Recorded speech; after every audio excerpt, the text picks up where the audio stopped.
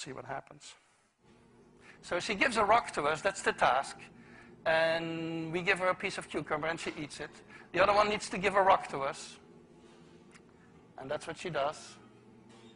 And she gets a grape. And she eats it. The other one sees that. She gives a rock to us now, gets again cucumber.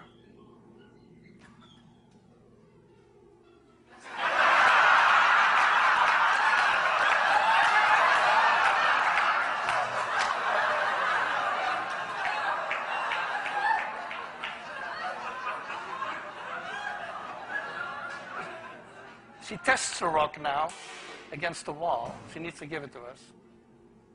And she gets cucumber again.